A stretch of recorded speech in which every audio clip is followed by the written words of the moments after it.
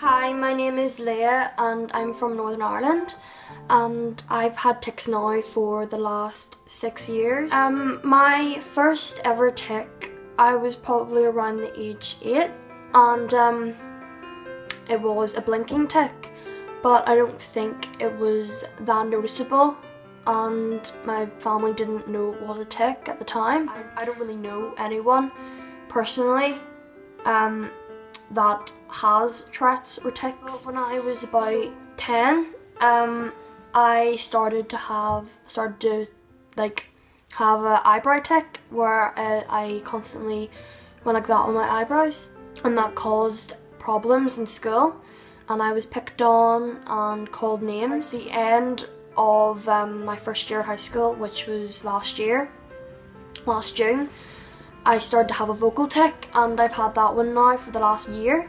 Um, I was so embarrassed and I didn't want to socialise with anyone because I thought it was irritating people. So there's been some incidents where people have made fun of me because of it and people have imitated me but I try to just forget about it. When I first told my friends about it they were really supportive and they they didn't care and that that made me really happy because I was scared that they would look at me different. The thing that tics and Tourette's and stuff like that has done for done for me. I think it's made me stronger. Not made me not want to not care about what other people think. It's also made me appreciate what I have as well and not take anything for granted. I don't think it's something that has ever held me back. I don't let it. I go for things that I want to do. If I want to audition for a play, I go audition for a play. I don't I don't let them hold me back.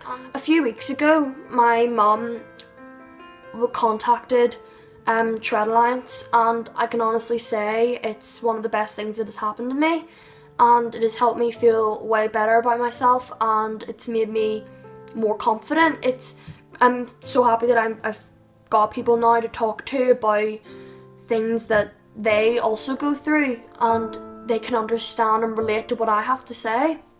So um, thank you so much for watching this video and um, have a great day.